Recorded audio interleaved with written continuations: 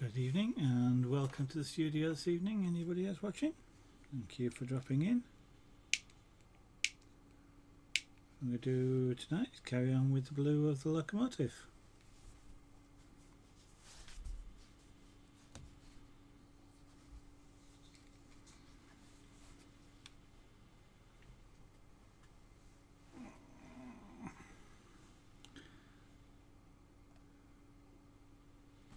Going to start at the back. And then before I continue any further I'm going to change my glasses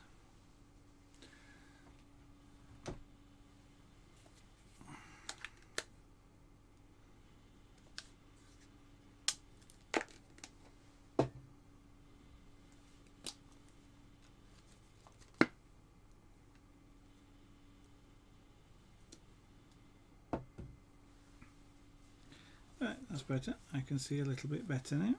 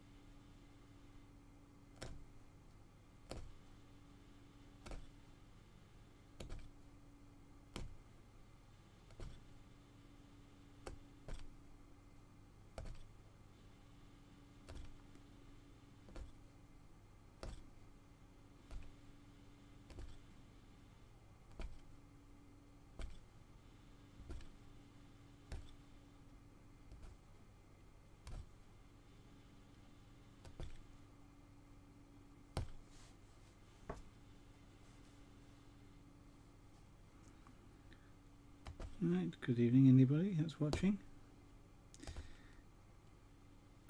Despite the, uh, the, the title and the information on screen, if you're not sure what you're looking at, it's uh, craft which is called Punchcraft, or at least that's what the manufacturer of the tool that I'm using calls it. I'm not sure what the uh, what a, a, true craft name would be, but uh, it describes it well enough.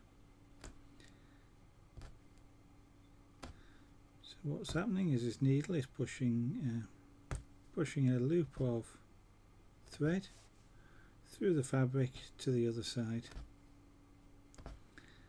And it's those loops on the other side which uh, form the the picture.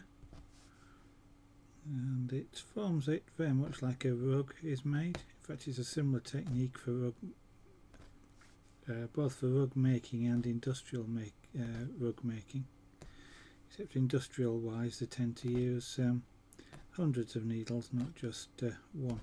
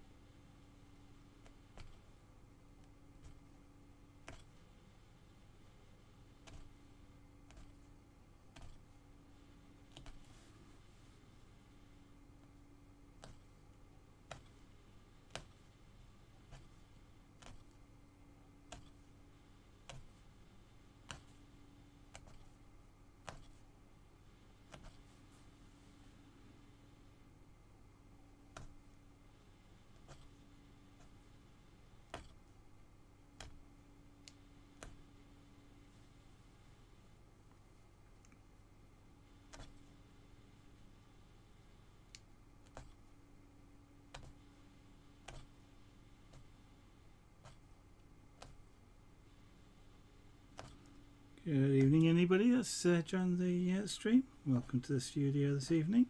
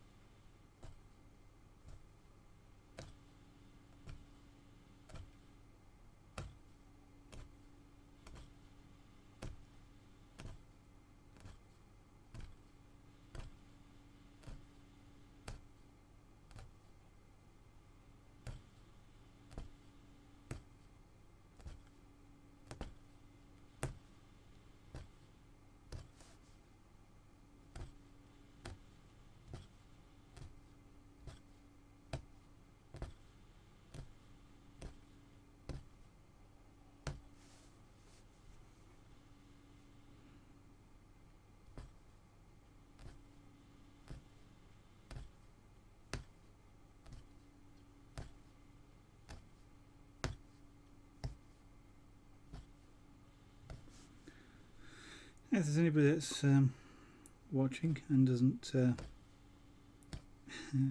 doesn't know about the uh, the mallard, which is being referred to in the uh, stream title, in this particular case, it's not a duck.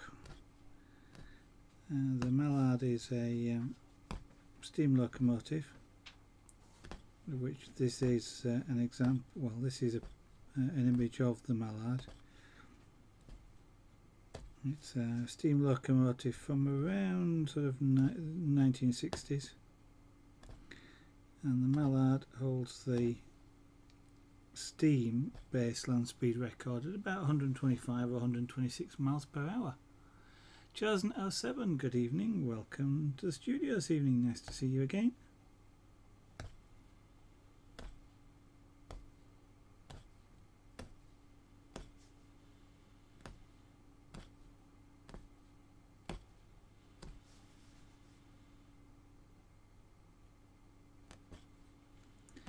And this blue look, uh, blue or the blue colour of the engine is uh, just one of the liveries which it's been painted with. It's been green and black and actually another shade of green of uh, blue in the past as well.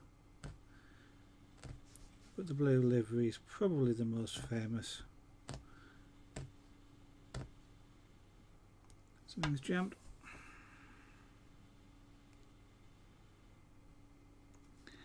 and the thread jams up it uh, stops coming out of the tip of the needle and then um, what happens is you start pulling the loops out. As you drag the uh, drag the thread it's doing it again.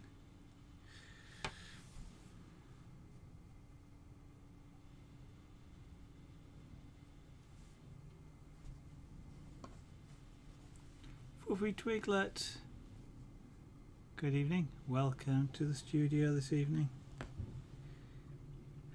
And you love trains, do you, Chose No 7? Well, why not? There's some really nice looking uh, locomotives.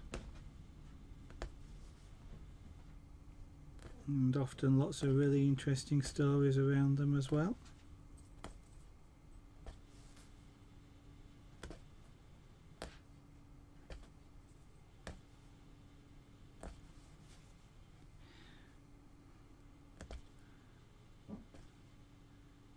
Guessing also then if you love trains you possibly play um, Train Simulator.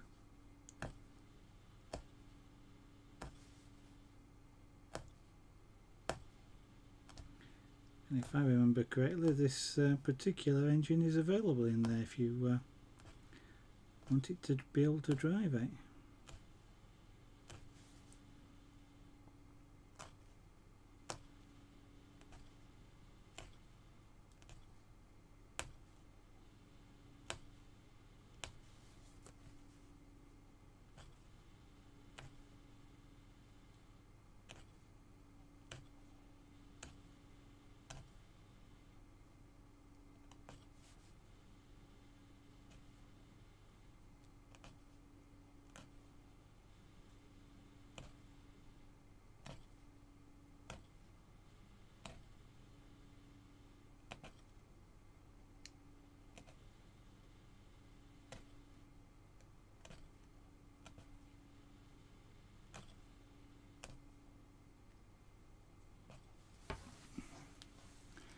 Right, I'm just going to do is find my scissors and uh, cut off these loops before they uh, start to bother me or they get in my way. Because the loops have a, well, threads have a habit, shall we say, of always managing to put themselves just where you want to see so you can't see because they're in the way. Let's get rid of the one back down here as well. There we go.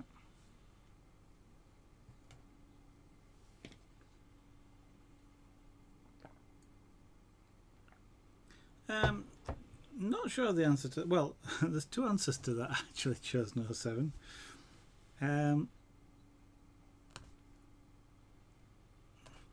it, it already is framed. Um, I mean this this loop um, hoop rather or loop I suppose, but this hoop um, is a very good frame in itself. Um, it you know you can hang it uh, as a picture using the um, so using this um, well this this is where the, the you tighten the outer loop against the inner loop to hold things faster but it also acts, acts quite nicely as a hanging uh, position so in terms of uh, framing and hanging this if I want it to do. So all I need to do is just trim off the fabric around the outside of the loop. Um, I'd probably put a drop well a drop put a um, some fabric glue around the outside just to stop it fraying anymore um, to do that. Um, but to be honest um, don't actually know whether I'll um, keep it uh, long keep it put it on display long term or not. Um, I don't don't display a lot of my uh, art in the house. I tend to like things um, a little bit uh, uncluttered shall we say. So I tend not to put a lot of stuff on the walls. Um, so this is just as likely to go into storage and uh, and stay there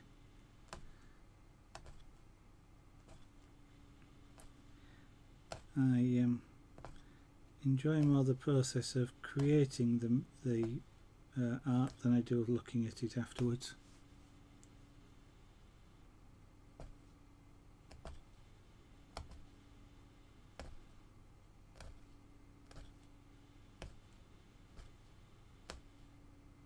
Which seems really really silly for an artist.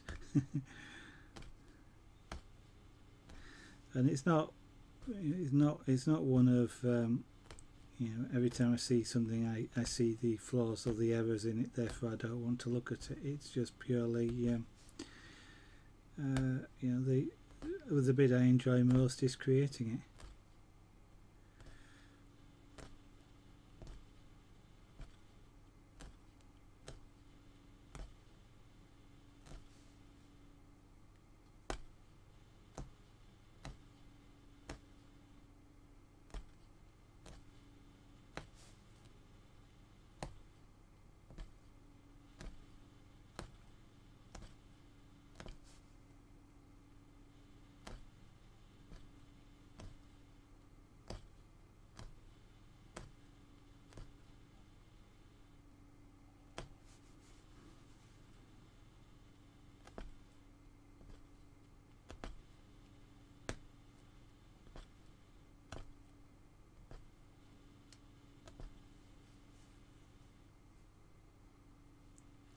Digital House Party. Hello and welcome to uh, welcome to my studio. Nice to see you. Thank you for dropping in and thank you for the follow yesterday by the way. That was most uh, most kind of you.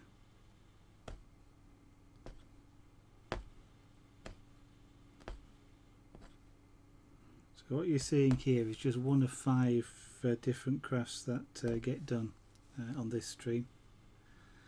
Uh, and that this is uh, this one gets called Punchcraft which is probably obvious from the title. Um, but uh, I also do relief carving scraper board um, pyrography and I make uh, jewellery out of um, rings. Uh, chainmail is effectively what it is, but I don't make armour. So um, quite a quite a varied uh, stream. I don't, don't do them all at once. do them one after the other, but uh, generally spend a week or two doing each one in in turn, depending on what it uh, what it is and some things like carving take longer than uh, than other things. That thread is jammed again. Don't know why. I've not had any problem in either this or the last uh, uh, last piece. This either this reel or this particular colour. I've had the, the problem with the thread jamming.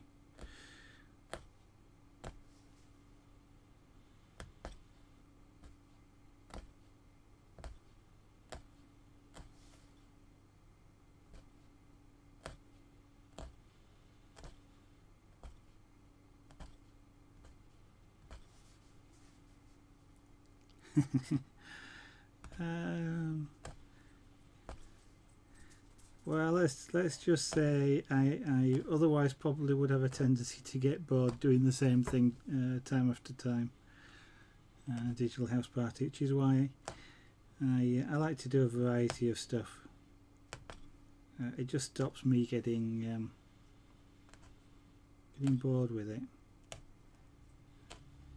I did uh, I did carving of a dragon just recently and that took a, quite a bit of a, a, length of time and I was getting a little bit towards the end of it I was getting a little bit of uh, you know what I want to do something different.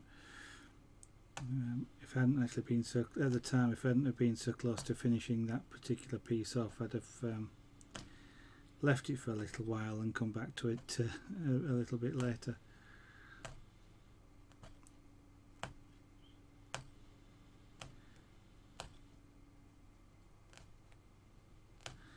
the streaming stuff has uh, has made me do more art so I'm not uh,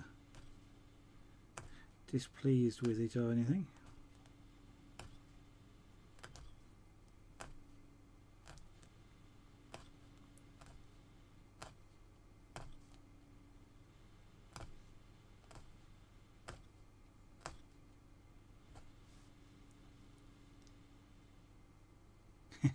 Thank you very much, Chosen.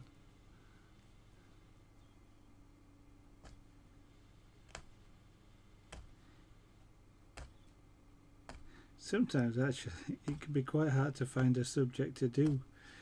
Uh, I know there's millions and millions and millions of things that you know you could produce art on, and yet by the, the time when it comes to literally to start a piece, I will sometimes sit for hours thinking, what on earth can I do? I'm looking at a blank sheet of paper because um, quite often I'll start with a blank sheet of paper before I actually transfer to any sort of medium. And I'll, I'll just be looking, staring at it and going you know what? I just don't know what to do. And I have lots of ideas and some ideas don't work so well in some mediums. Um, so they those ideas obviously get put to one side for uh, for a different craft. Um, but um, yeah, I can just sit there going, ah. oh, I'll have such great ideas, I have no idea how to start, something like that. So I'll put that to one side as well.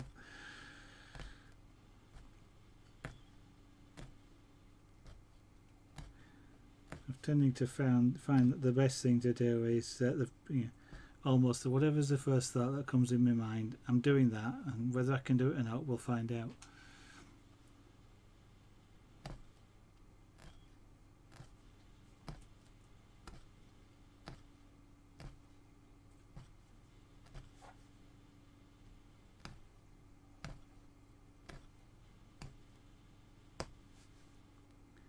Occasionally you, you guys will give me ideas. I think actually it was 3D blog that the the last pyrography piece I did, which was um, Salute to Sunset, which included an elephant and uh, and a giraffe in a sort of African savannah. It was actually 3D blog that suggested the elephants. So.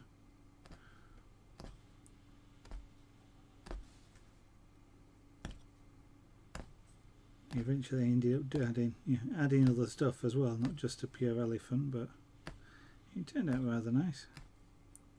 That was a piece I had no idea how to start and just did it.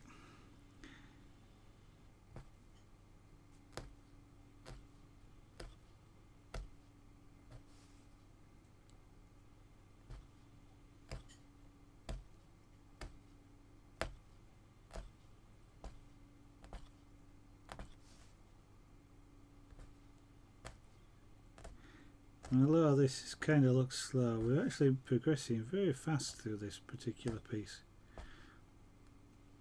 In terms of uh, if this was a painting, it probably would uh, wouldn't be going quite as fast as this. So it's a relatively quick art form. Still not super fast, it's not something that you complete in a couple of hours, something of this size, but uh, uh, you can certainly motor with it.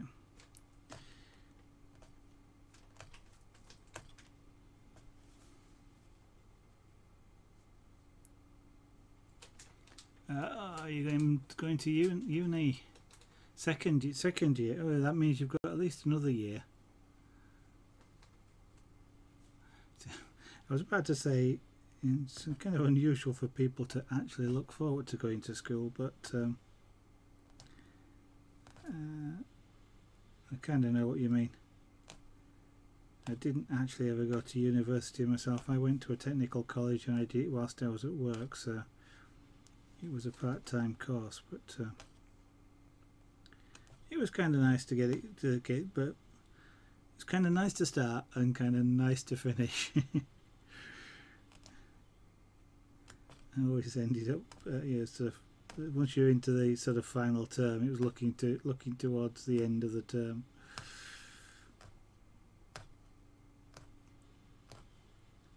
So you're doing a three-year, or uh, well, it could be a two-year, I guess, but uh, three-year, four-year, five-year course.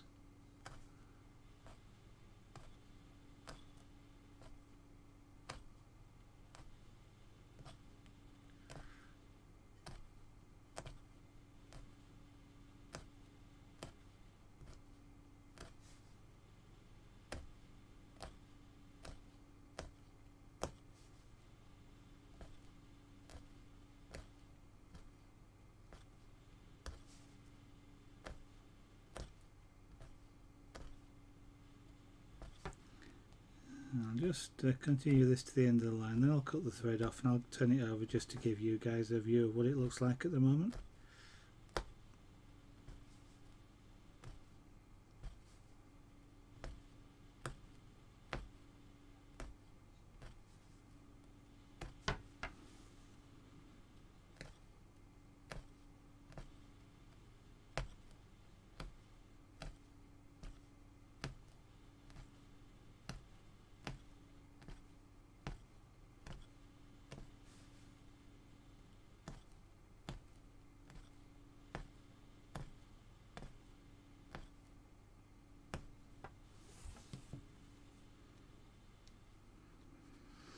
Cutting the thread off so I don't accidentally pull any of the loops out and have to end up redoing it.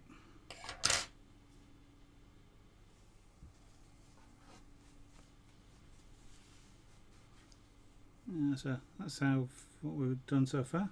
A uh, little bit, uh, little bit loose in that area. You're going to make sure you get the uh, get the loops close enough together otherwise you won't necessarily be able to see it but it's a little bit um, sparse just in this area here. I'll just have to make sure the next layer that I do is is quite closely yeah. Um, I say stitched but it's not actually stitching but sort of you know the, the quite the loops are placed quite close together just to uh, pack them in a little bit just in this area here but there we go. You're doing three years of um, Illustration Theory. Good evening as well. Welcome uh, to the studio. Uh, not so far.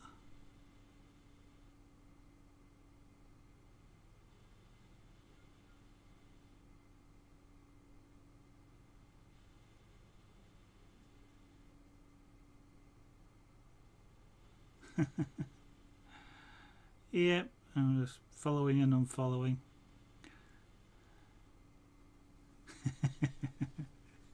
yeah. I suppose some people will uh, will study it even if they already have uh, such a uh, a job, but uh,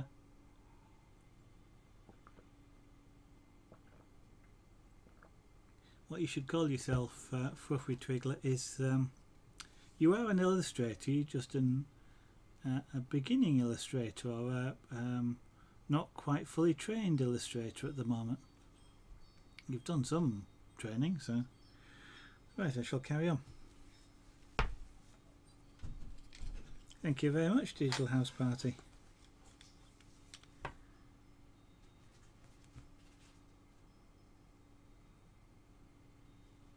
And when I look on the back, I can see I've spaced the uh, the rows out a little bit too much.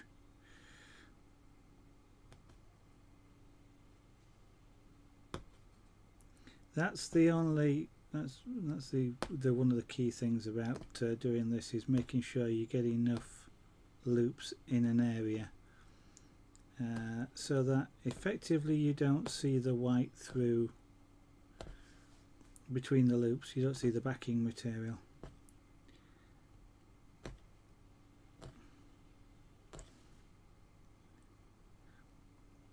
So that means sort of well essentially it means putting loops about one needle width apart really in all in both directions vertically and horizontally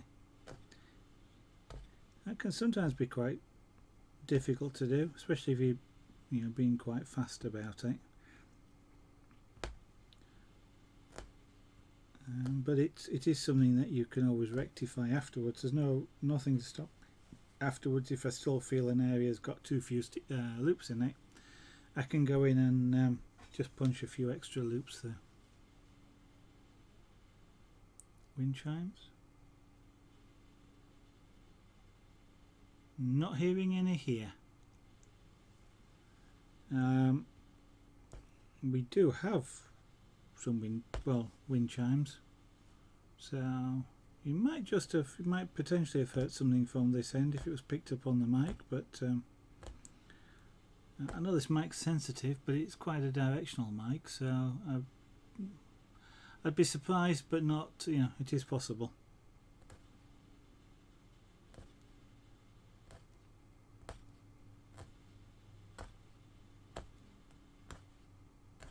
Can't hear any at the moment though.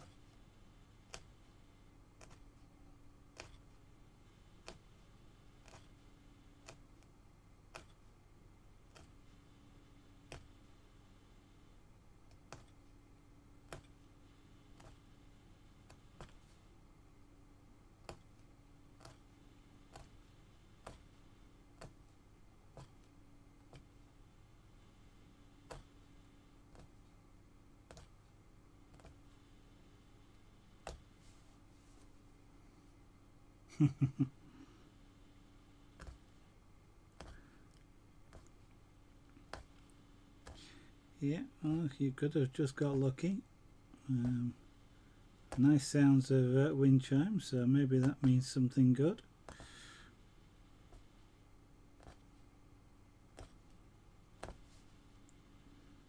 What's the saying? Every time you hear a bell, it's an angel getting its wings.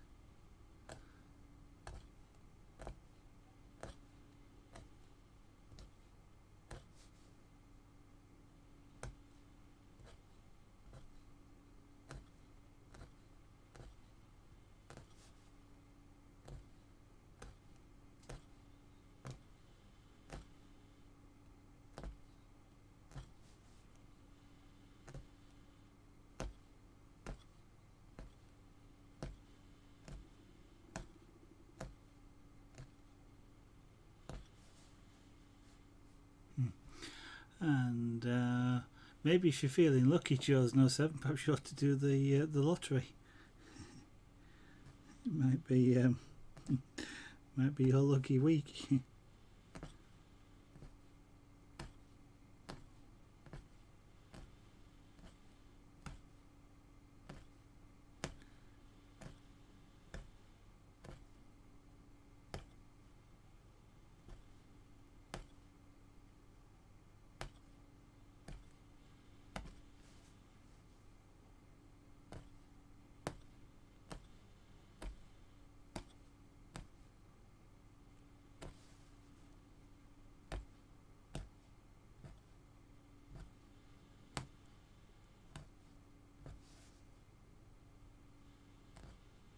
Hope that's pulling out.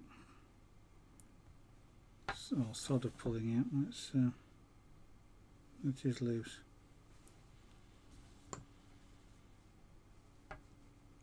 Halloween, holiday, and Christmas. Uh, Christmas I like. Halloween, meh. Doesn't. Um,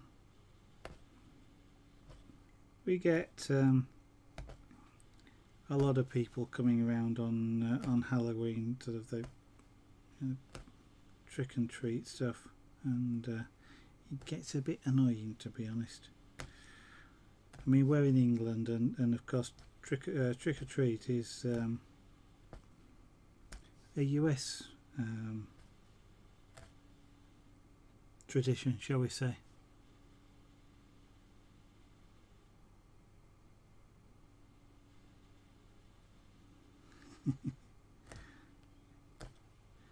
to do something scary for the kids, yeah. Uh, no, I'm not going to say anything. I am not going to say anything. Is it the third that goes? It, I think it's got something to do with this thread. I'm not uh, really. I'm not sure. Um, I'm using the same tool as I did the rest of the rest of this locomotive with.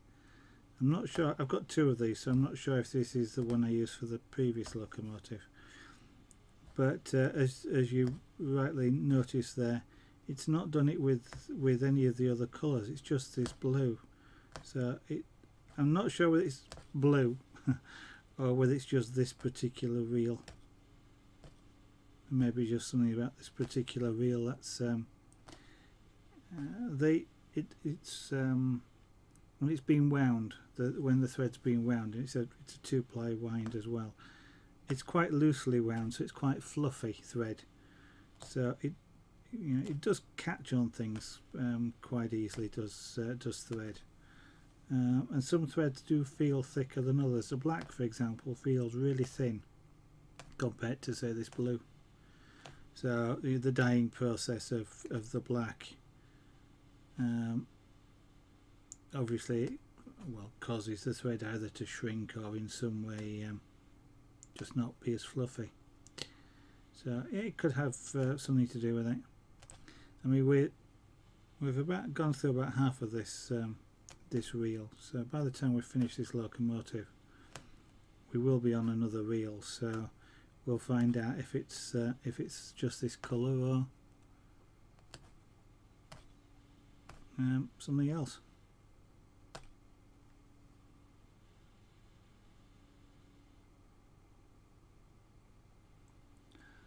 Photography and watercolour. Oh, yeah. Both, um, both very interesting things. I used to, um, I used to do my own development of black and white. I sort of, mainly because colour development was expensive. Um, all the tools to do it, but um, used to enjoy. Um, you know, creating and then uh, developing uh, black and white photographs. Watercolour though is something I've not tried yet. yeah, you notice the yet in there. Um, I may well try that at some point. It kind of interests me, but it also I'm kind of a, a detail freak, and watercolour kind of isn't. Um, there's a lot to learn with watercolour uh, because of the way in which obviously the paint flow, the water causes the paint to flow. I do have a set of watercolour pencils around here some somewhere and, and paper so precisely so that I could kind of have a go without um, going into getting all you know brushes and paints and things like that to uh, to do watercolor.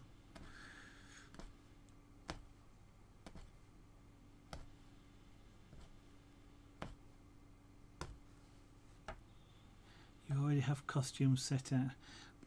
Yeah. Well, it's not going to be long before the, the, the stores here have, have Christmas stuff in it.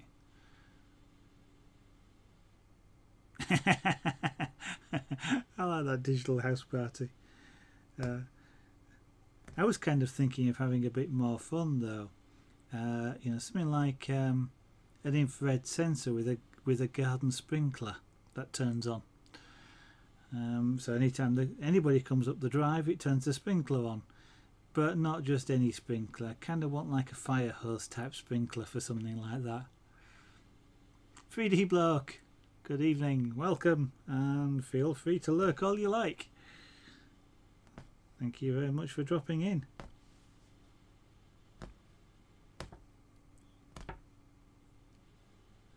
I think it's turned into a discussion of how to discourage kids from knocking on your door on Halloween or trick or treat.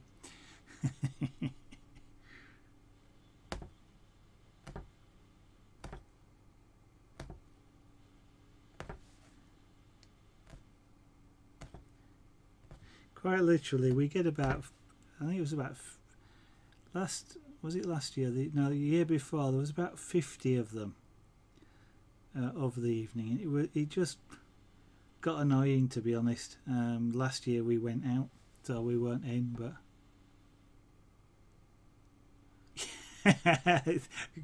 yeah just like that uh, fluffy twiggler hide upstairs so this year there may well be no stream on uh, trick or treat night. Uh, Halloween, the night before Halloween, isn't it?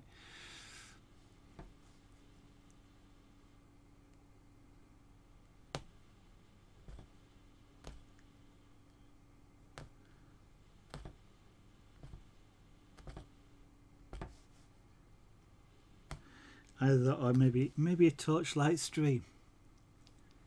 You don't celebrate Halloween where uh, you live. Oh, okay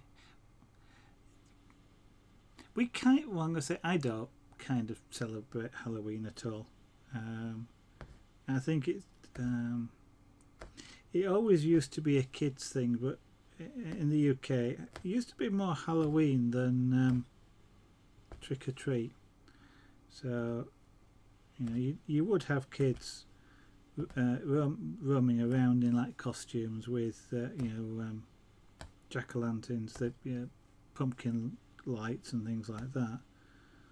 And uh, just generally you know hanging out shall we say. And that uh, that was you know used to be quite nice and pretty but now that it's got sort of all uh, mercantile shall we say sort of mm,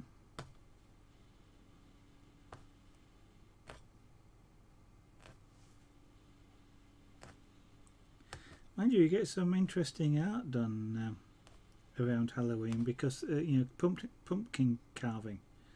It's not something I uh, particularly want to try, um, but um, you know people actually carving, not just cutting holes in in pumpkins, but actually sort of carving the um, the thickness of the skin, so you actually get a shadow uh, or a light um, light box type effect where obviously the thinner the um, the thinner the skin the uh, the lighter it is so you get a, a shaded image.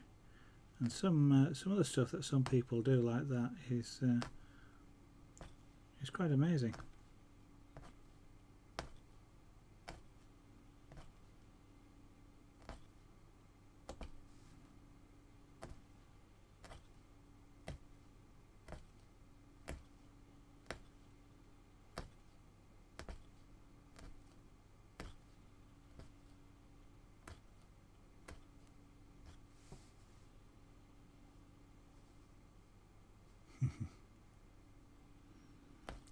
talking of um, well, talking of carving rather than talking of uh, carving pumpkins, we've just been talking today about having some uh, quite large trees cut down around here.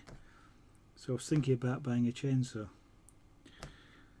um, a small one, and uh, maybe seeing what I can do in carving, uh, carving up some logs. Just purely for the fun of it, because a small chainsaw isn't particularly expensive.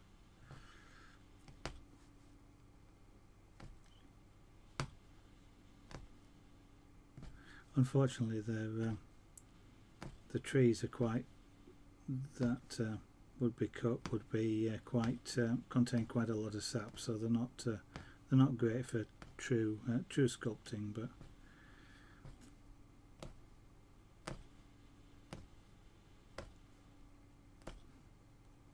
Fortunately, it wouldn't be anything I could do on stream. Couldn't get one of those logs in the studio. and I certainly wouldn't want a chainsaw in the studio. Uh,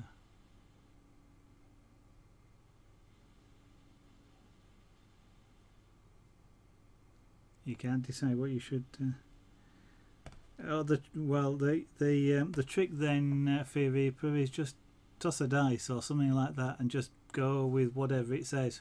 If you can't, if you can't decide on one. Um, actually 3D blocks in the um, in the stream.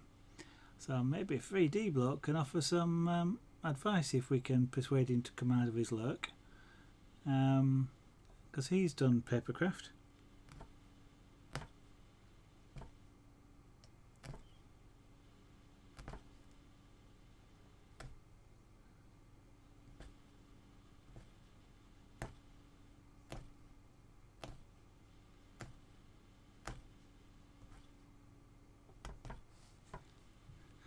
and be awesome. well, it might be if I was any good at it. Never done any, so we went up to the um, Yorkshire show recently, um, and uh, stood and watched. They, they, do a demonstration there of um, things like various logging and things. Uh, including sort of chainsaw carving, simple things like um, actually well, I was going to say like chairs and things like that but um, I think maybe at some point during the day they did actually have some real sculpting done with a chainsaw but I never saw it but um, it uh, was an interesting uh, interesting thing to see taking a log and turning it into well it was turning into a child's chair but uh, complete with back seat and little tiny legs.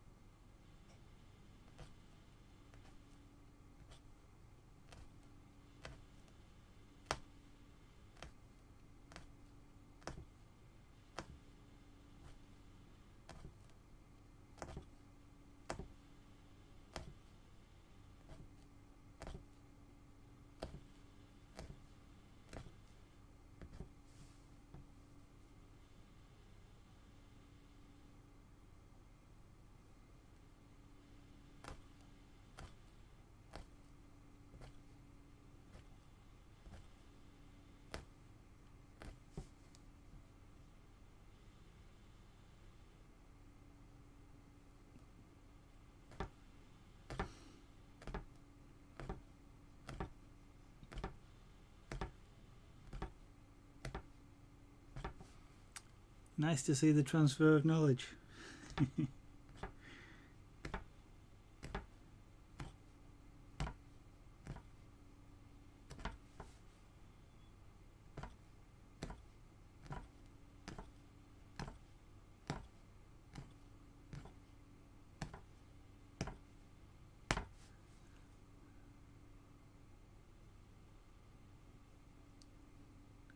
Thanks for uh, contributing uh, your experience 3D block.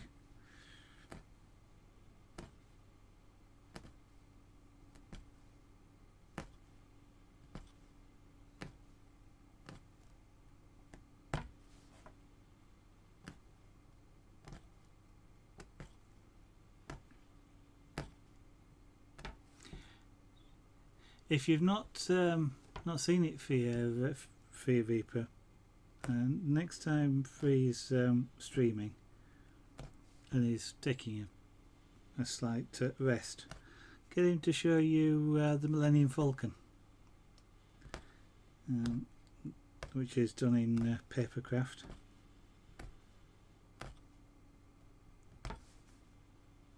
Of course, if you've already seen it, then that's maybe a bit pointless, but.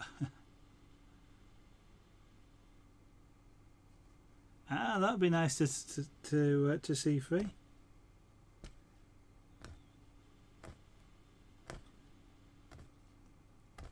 If you get a chance to let me know when you're going to do it, please do, and I'll make sure I finish on time rather than overrunning because I'd like to see it myself.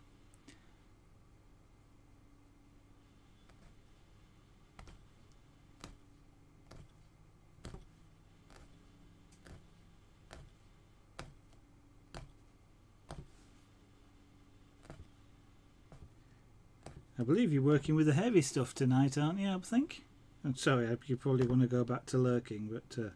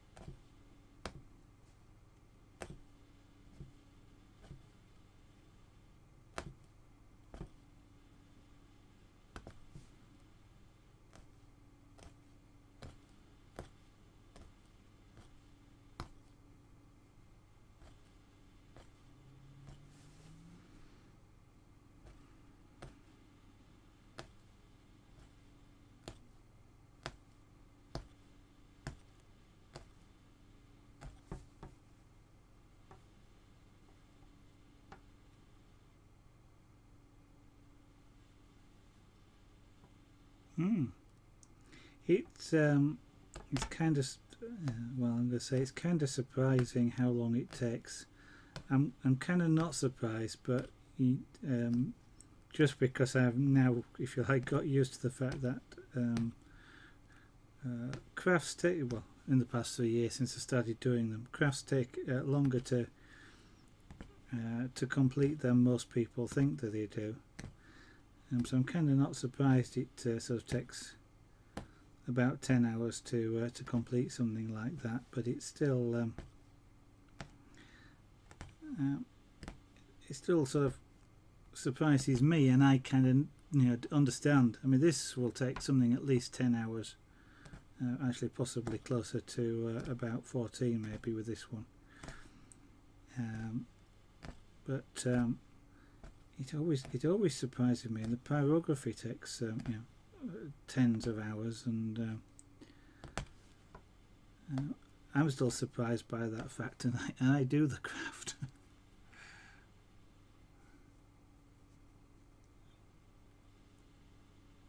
mm.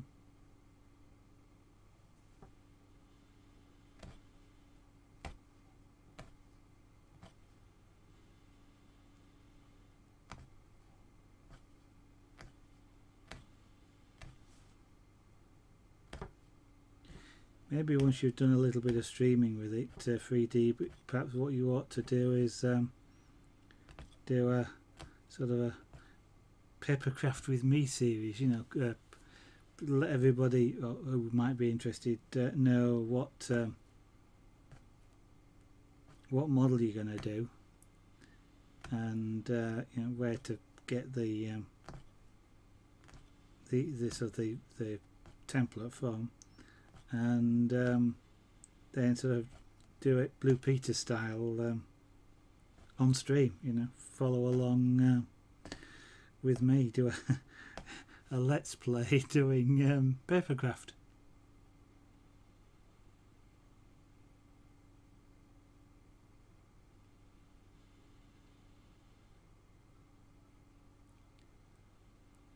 Yeah, I'm not sure. Well, I'm not sure how it would stand up. Wouldn't it have to be done with fairly thick, um, fairly thick card to, uh, or is it just so internally braced that it would uh, stand up of its own accord? Mind you, I've absolutely no idea what size a life-size battle droid would be. It could well be sort of a foot square for all I know.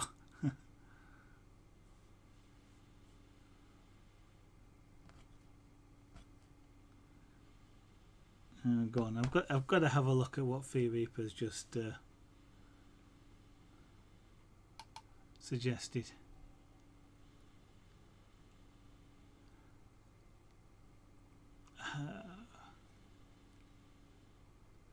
Uh, uh, that's a cool model. I think I would probably personally go. Um, I'll need a bit more experience before I did that.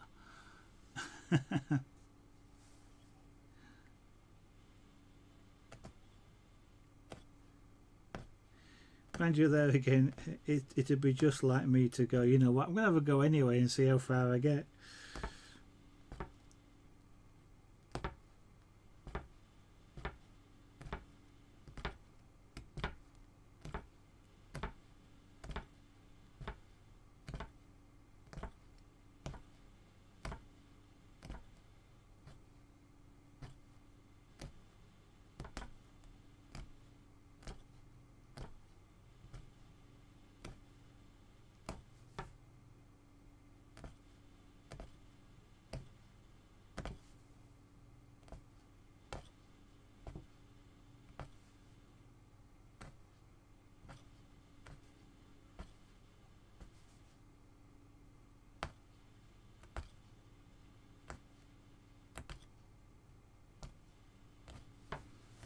Okay, that's that section complete.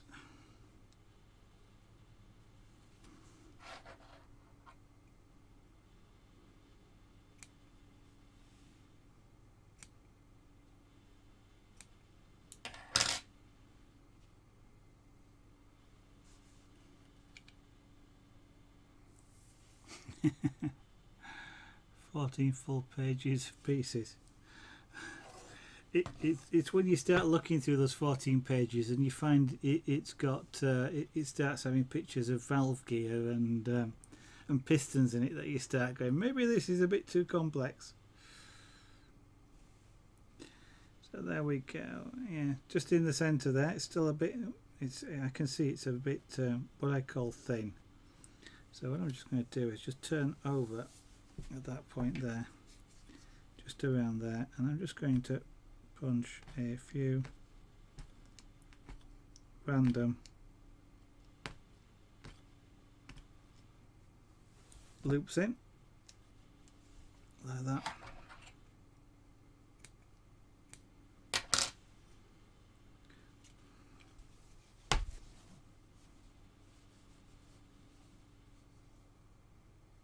I think I missed where I wanted to do. Oh yes I did. It's just yeah it's all all the way across. Let me do a bit more. Oops. I'm trying to get a specific place where I can see a small hole. It's around there. Okay. Ow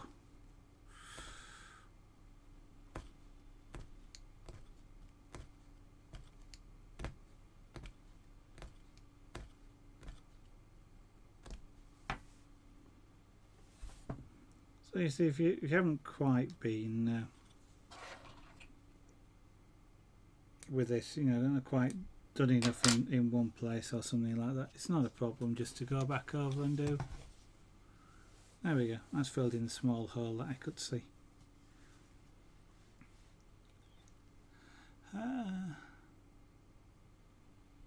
two and a half, well, two and a half pages is a bit different.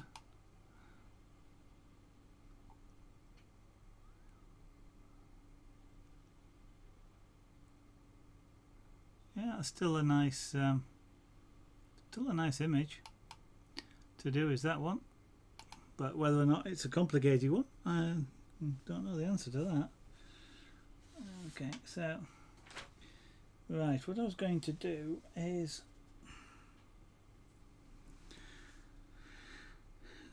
because of the uh, well, th this has got a quite a sharp edge on it because it it literally is a right angle but then then there's a curve from the body onto what would be the top surface of this so what I'm going to do I think is just do some of this light wool just along the edge there um, which sort of will reflect, if you like, the fact that it's lighter.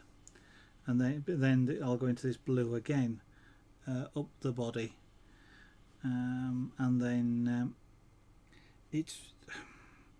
I may either use this light blue or I may actually go to white uh, just near the top here because there's such a, a bright reflection. Same with the black actually.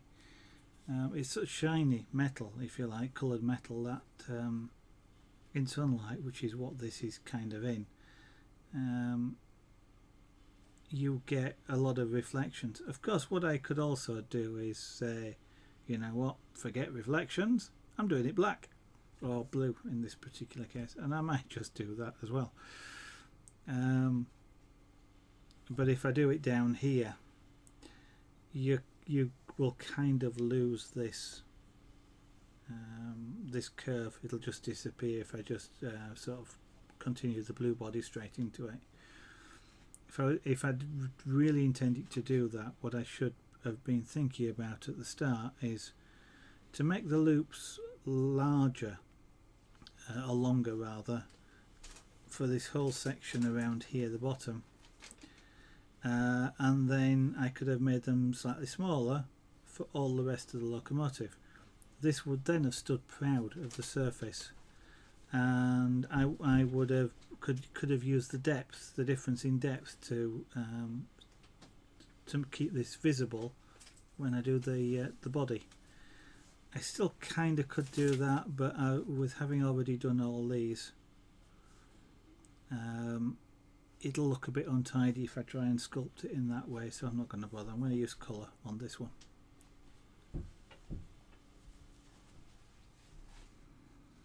Um,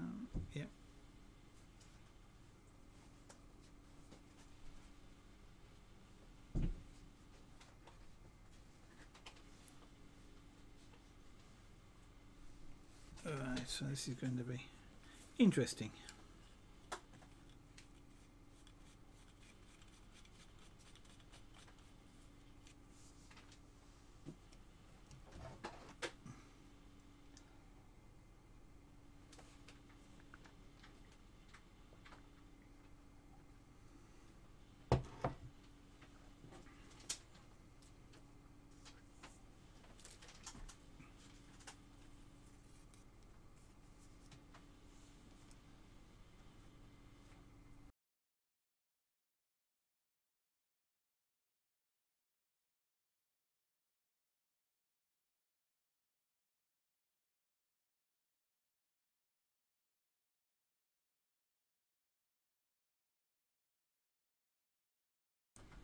Right.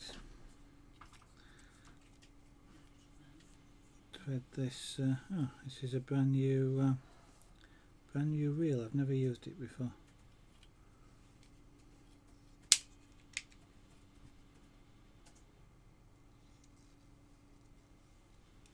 Ow.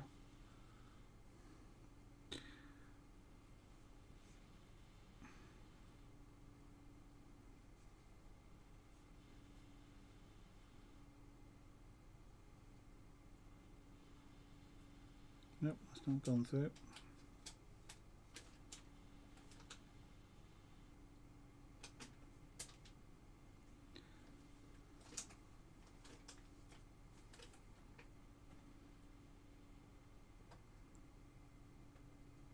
Go on thread, you are going to go through. There we go.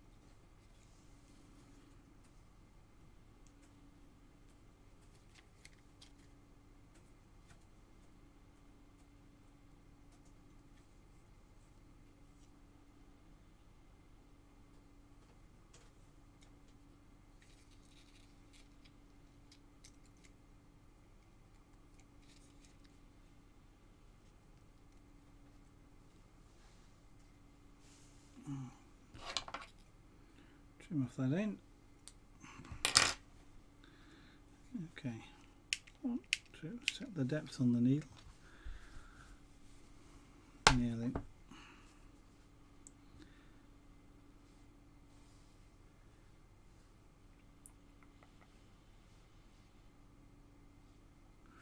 What I do is a, at least one, maybe two rows of this light blue all the way to about here. I'll switch to dark blue underneath, underneath, and then I'll do uh, some more just across uh, uh in this sort of area here.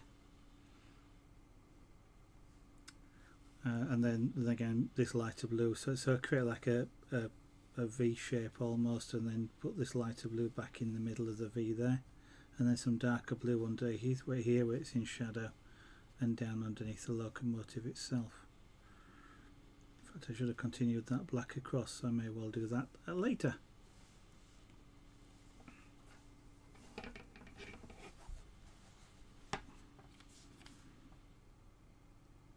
So I'll start about here.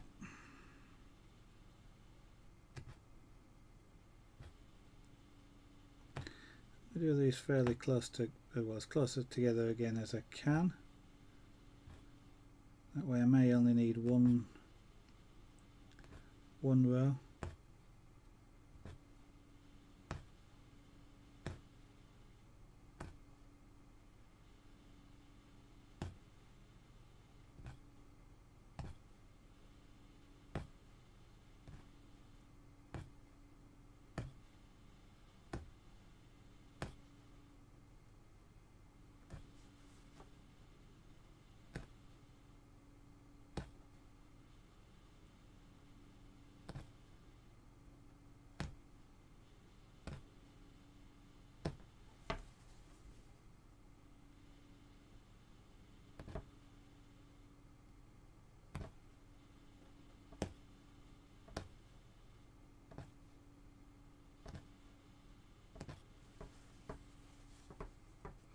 Beautiful guy, good evening. Welcome to the studio this evening.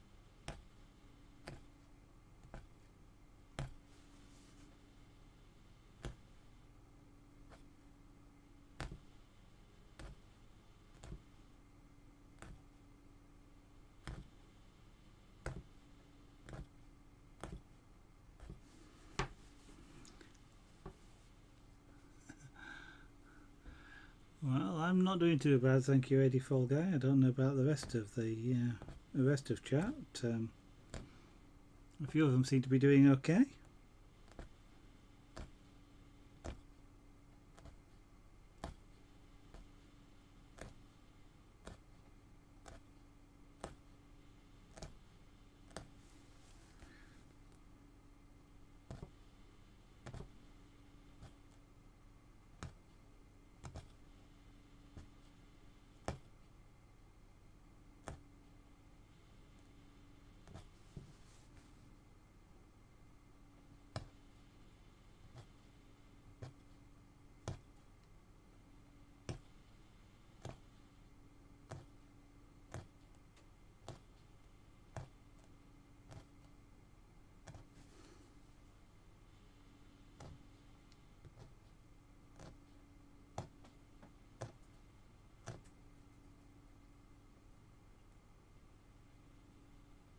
Interesting. This one has um, caught as well.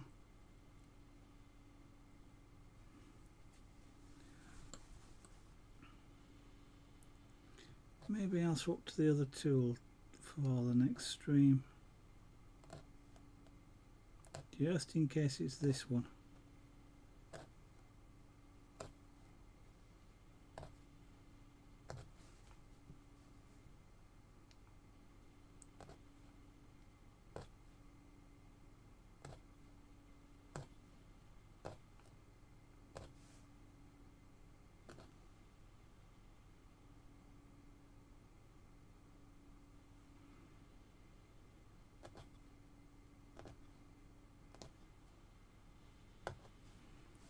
going to stop there. Let's have a look. Let me turn it over.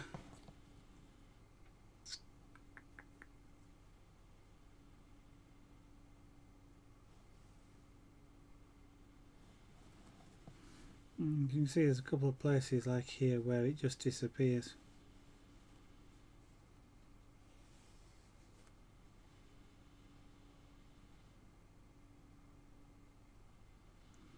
Think I'll come back a little bit along there with uh, with this lighter colour.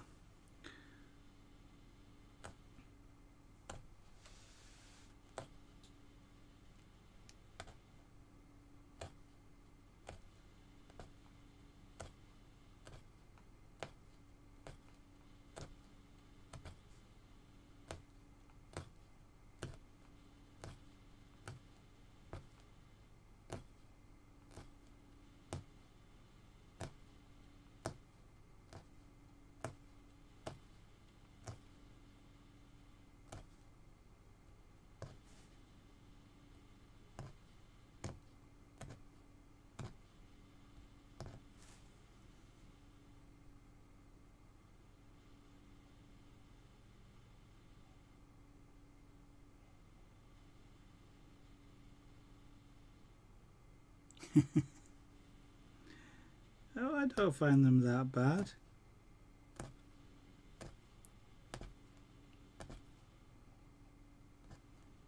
I end up doing a fair bit of programming in them, so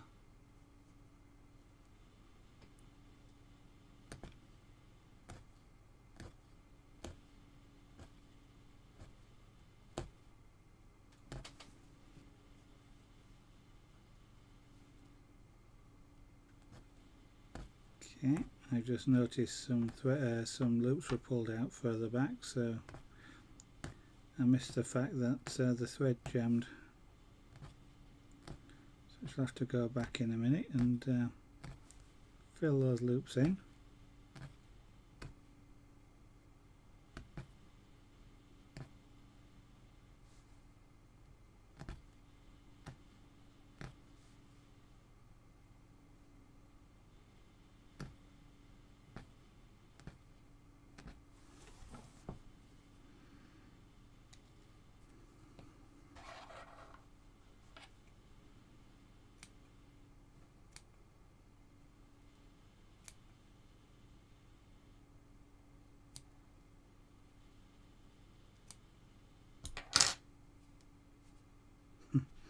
As luck would have it, that's just in the space where they went missing before.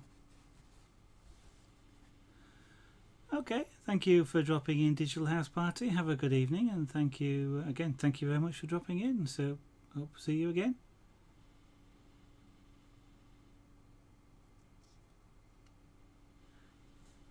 Yeah, um, Excel's quite a good one for VBA programming.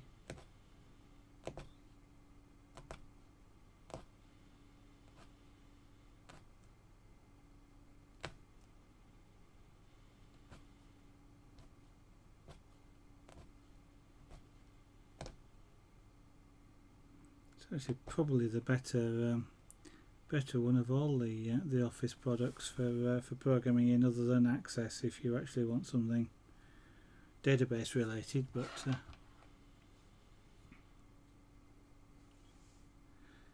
hmm, I don't know. It's not uh, it's not too bad. It's it's half object orientated um,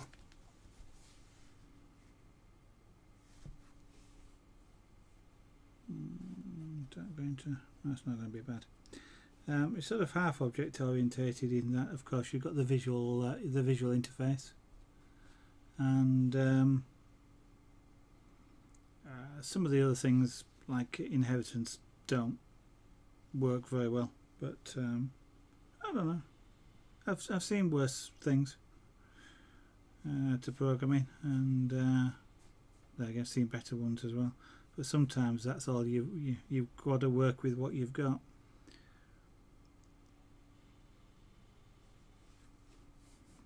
Like at work I don't have access to more complex um, programming tools than VBA okay and I'll do across the top here. I'm I am I'm protecting. Good evening. Welcome to the studio this evening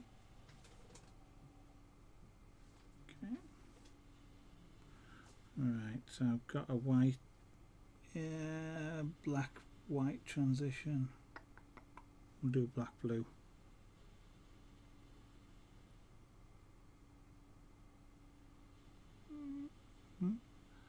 The um, the only time I found it unreliable is when it, you're trying to do something that you shouldn't do. Like um, multi-user access using a shared drive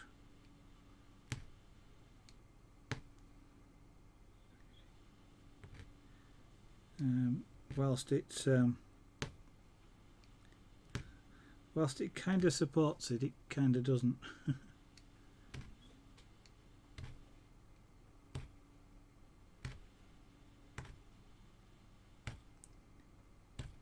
Anytime I've found it doing anything weird it's actually turned out to be me uh, my programming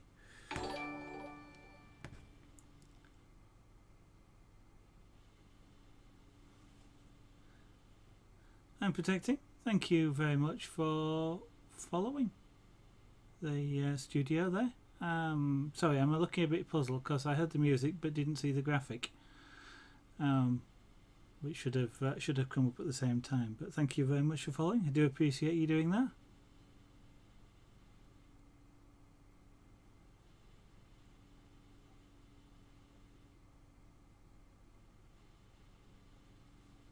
Never had that at, at all, uh, Fear Reaper, and I've done some fairly hefty hefty work in it. Um, sort of turnkey type applications the um, and accessing big databases as well, SQL Server databases from it.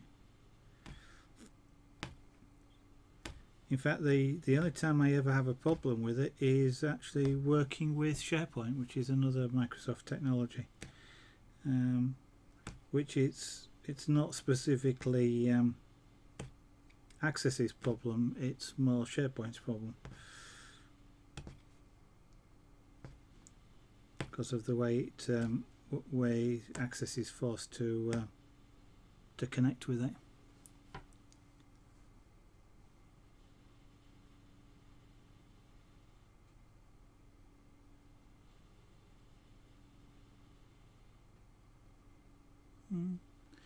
Uh, what uh, what you might have had a problem with there, then uh, Fear Reaper. Um, it's a, it is a it is a problem with all the uh, VBA programming stuff in uh, Microsoft stuff. Is if you have associated libraries DLLs or whatever you want to call them uh, in um, in VBA I found, I found what the exact term is.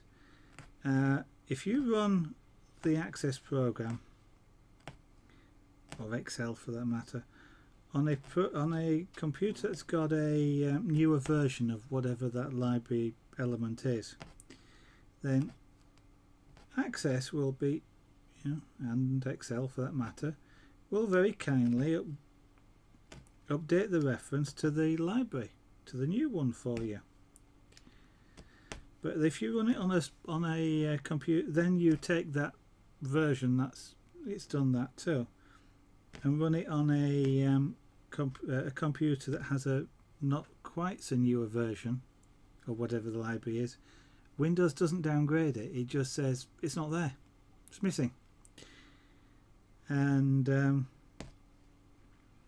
you have to manually go in and uh, reattach the libraries which is a bit of a pain in the neck to do.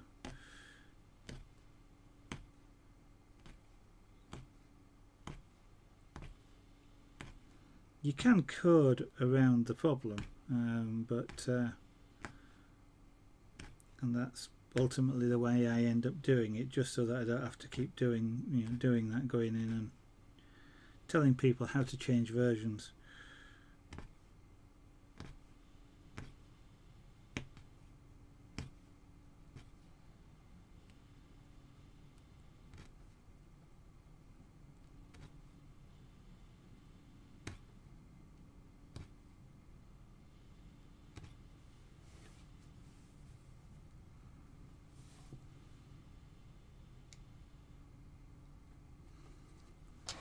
Okay, I think that blue will probably be enough. Let's have a look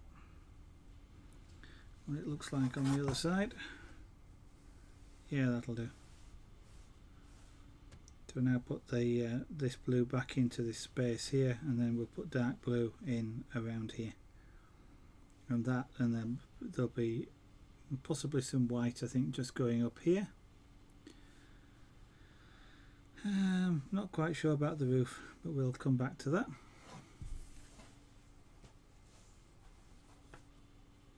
Yeah, well, I say horses for courses. Sometimes you have no choice.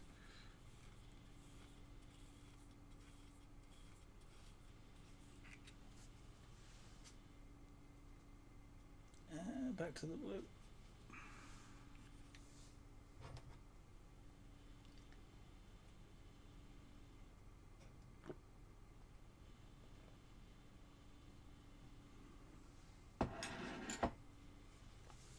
Needle threader.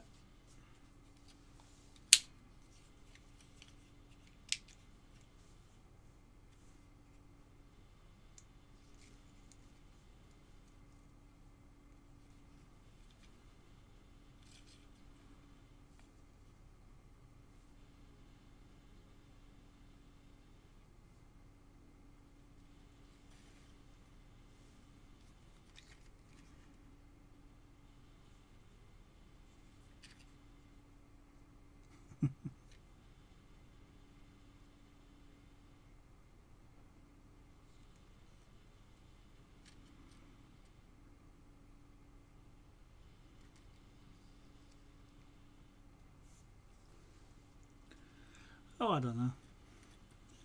Things like uh, COBOL, Fortran. Uh, could be quite interesting trying to uh, program in these days, modern uh, modern programming these days in those languages. It's a long time since I've done any of those, but not fantastically easy. Um, I'm going to cheat. I'm going to cheat in that the the thing that the the buffer or the well part of the buffer is behind it here is also in blue. Um, but if I do it the same blue, it won't be seen, um, even though it is the same blue. What I'm going to do is cheat and do it in the darker blue. Uh, and over this side, I'm going to do it in the lighter blue, because that that bit round there is in dark blue as well, with it excuse me, being shaded. Um,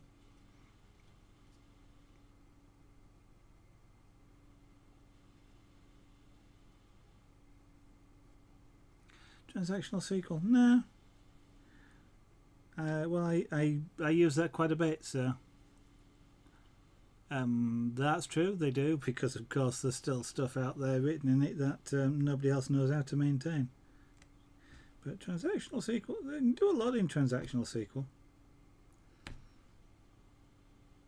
Especially if you do, if you're doing something like, um, uh, it, it's a useful thing if you um,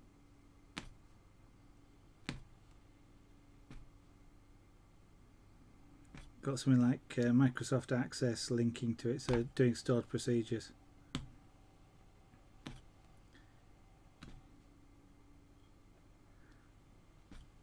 and there's different flavors of transactional SQL anyway whether you're talking about um, sort of the, some of the Microsoft flavors or some of the um, um, I've forgotten who the other one is that I was just thinking of then.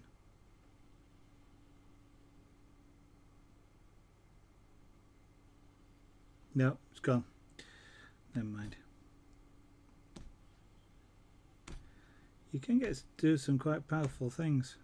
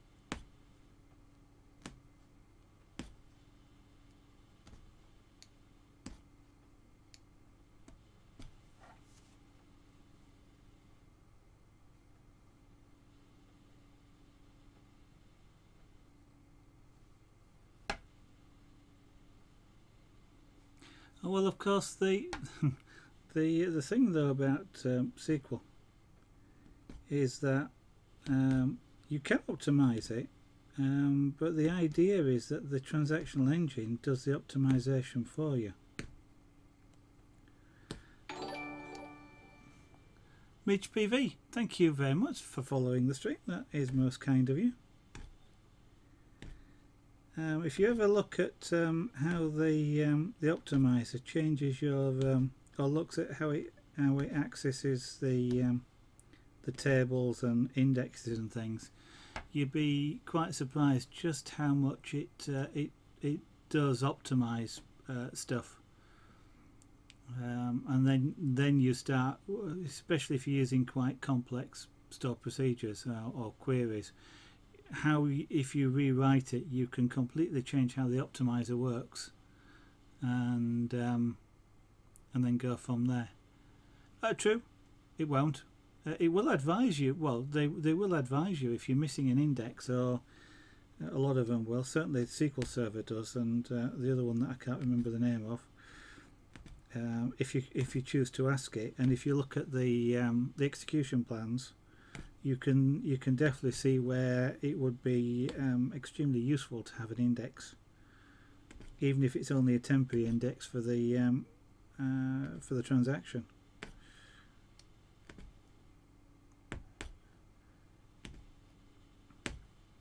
Um, but uh, concurrency, couldn't tell you. Don't do a lot of concurrency stuff. Con concurrency stuff with databases is um, can be really challenging.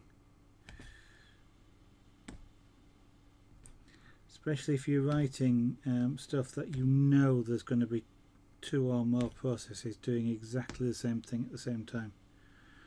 When you have to start getting into um, atomic transactions and things like that.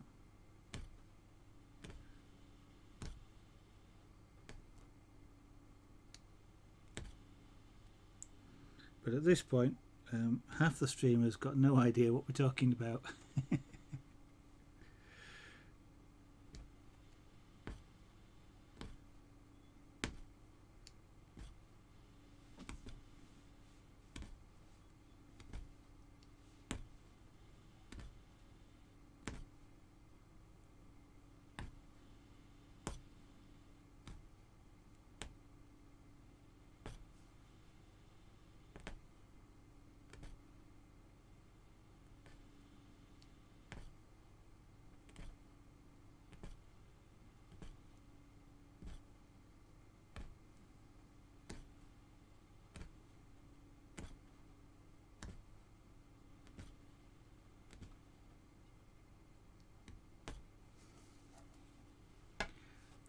yeah. Uh, deadlocks and uh, and race uh, conditions and uh, uh, re reading um, reading cache data rather than reading live data and reading reading stuff where there's a transaction in process. Yeah, deadlocks are the um, the worst. But deadlocks, by the way, if anybody's really interested, is where two things try and update the same thing at the same time. And what happens is uh, they both both things that are trying to do the update stop and wait for the other one to finish first. And of course they never do because they're both waiting on each other. That's a deadlock. And um, it's uh, it's something that you really really really want to avoid in databases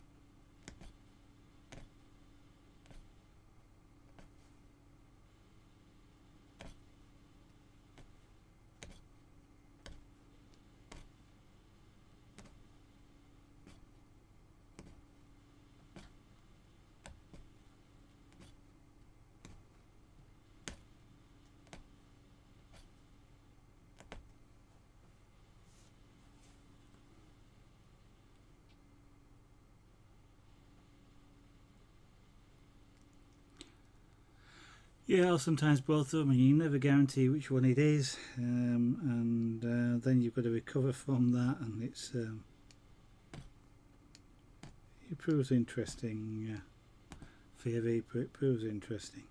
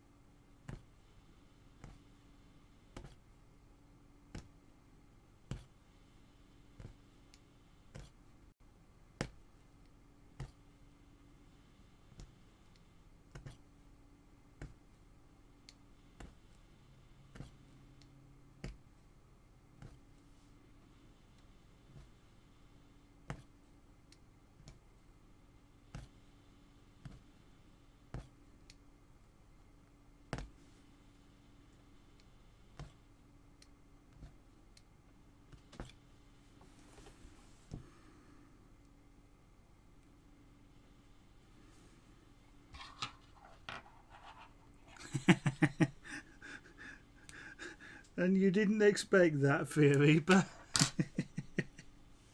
you start talking about transactional SQL, you don't think the chat's going to go quiet. um, oh dear. Blazing Chicken 11, hello. Good evening. so we've got uh, we've got that there, and you can see you can see now we've got the edge, which which helps you see uh, the corner, if you like, uh, which is, which in real life would be a reflection, or, or sort of a light, you know, the light shining off the edge, so you can actually see it. So I'm going to do is do, do some dark blue down here, which starts to finish off the outside of the engine before we do any sort of you know background. So dark blue down here. I've got a bit of dark blue to do up here.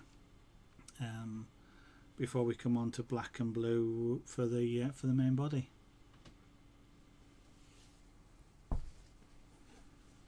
So although I probably want to use this again somewhere up here, it actually doesn't look as bad as I thought it might. It's sort of um, it looks a, looks about the right sort of colour. Um, I'm going to change this one out for the dark blue. What train is this? Uh, specifically, it's uh, the Mallard, which is um, an A4 Pacific locomotive, steam locomotive. Uh, to give it a bit more detail in the 462 configuration.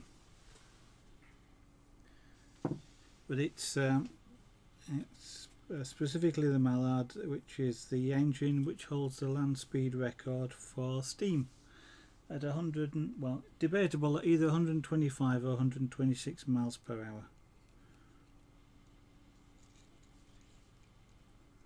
And that was drawing um, a heavy set of carriages as well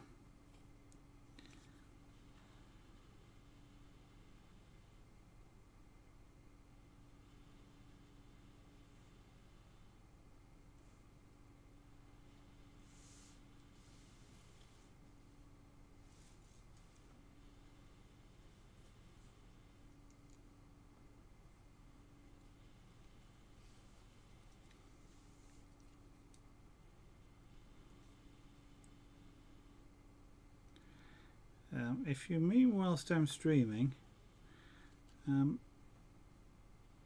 I, I do five different things whilst I'm streaming. And that is, um, we do this which is called Punchcraft, uh, Relief Carving, uh, which is sort of draw, uh, well, carving from a single solid piece of wood to create a something which stands off a background. Scraper board, which is um, basically a black surface which we scratch with sharp tools to create an image. Um, carving, scraper board, punchcraft. I've forgotten one. Carving, scraper board. I do five things, carving, scraper board, punchcraft. Pyrography, thank you, I was reminded. Pyrography and uh, then jewellery making or chainmail jewellery making. What do I make? These sorts of uh, these sorts of things. Um,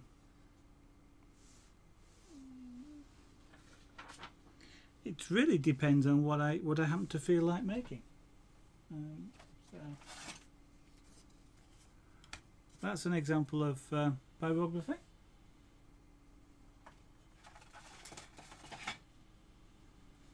And that's an example of the uh, of the carving.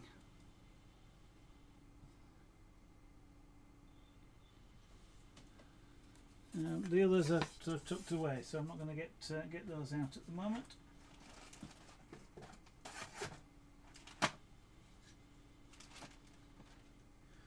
And uh, and this which is Punchcraft.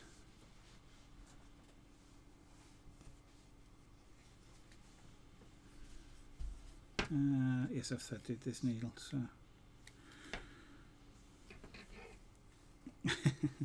well, the pyrography is quite hot actually, but um, thank you.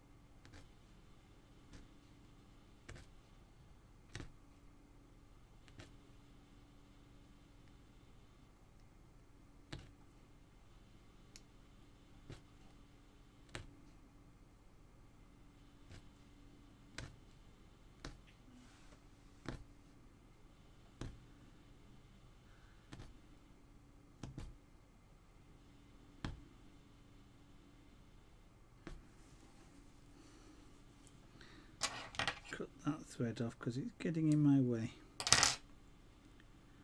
There we go.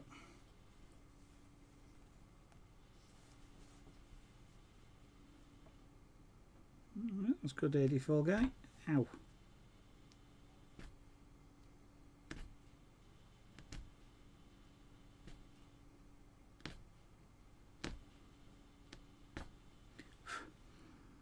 So what was it? Uh, what was it that you'd done this time?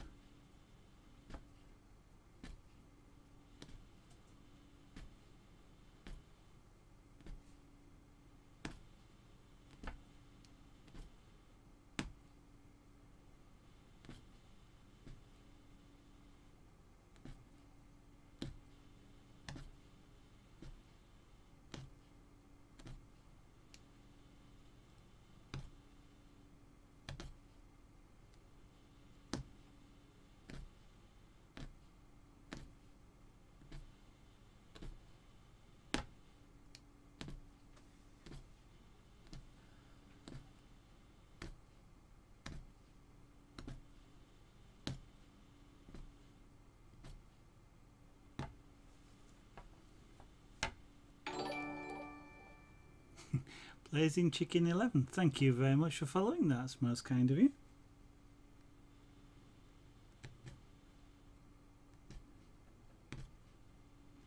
And thank you for testing the graphic works.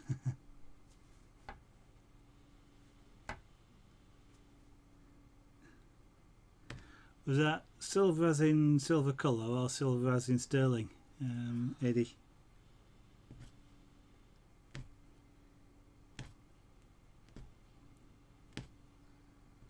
I think one of these days I'm going to try making something in sterling silver.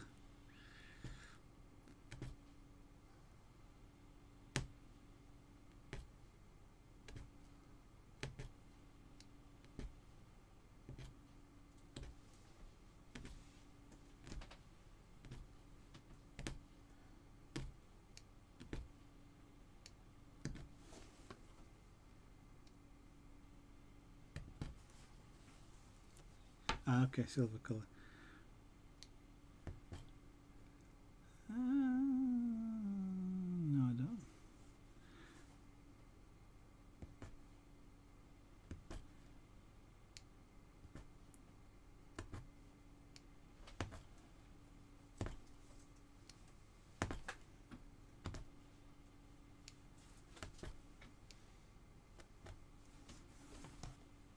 Oops, one more side, so there, yep.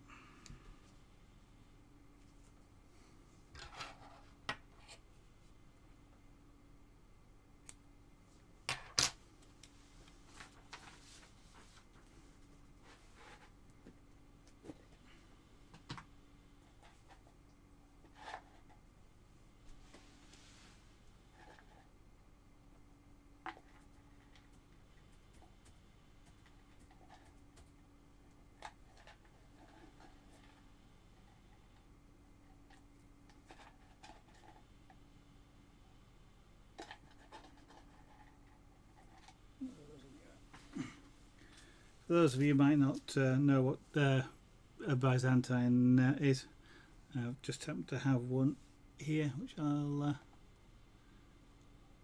show you.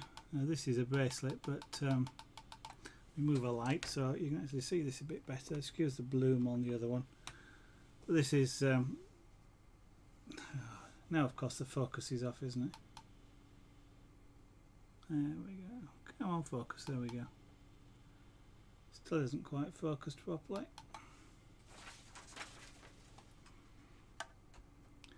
These cameras sometimes.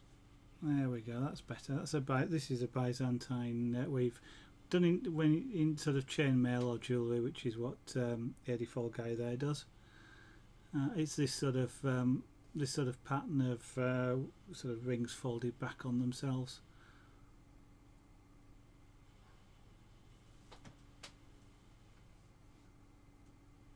Only um, it sounds like Age's done it in just all silver colour. Um, this one is uh, actually yellow and uh, well a lilac or um, sort of colour. It's a really pale lilac colour in this particular case.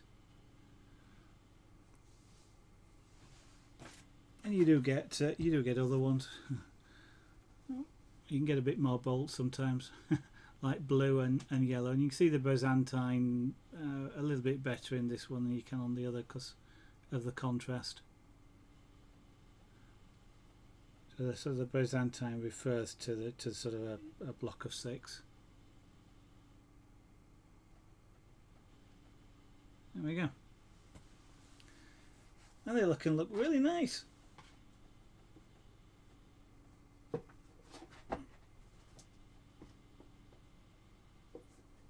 Right.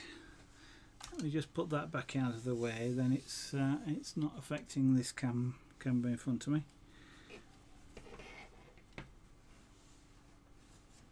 Uh, I bet that looks nice, the two together.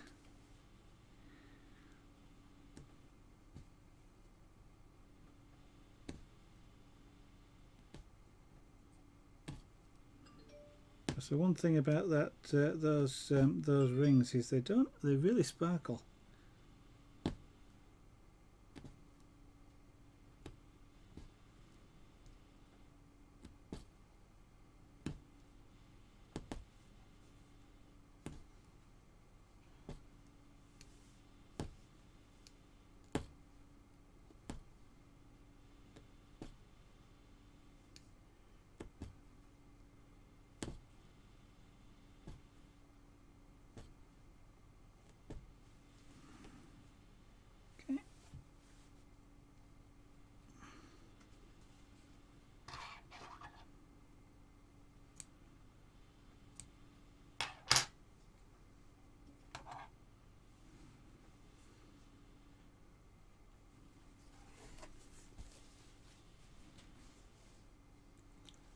And uh, now going to refocus the camera uh, and zoom it out a little bit.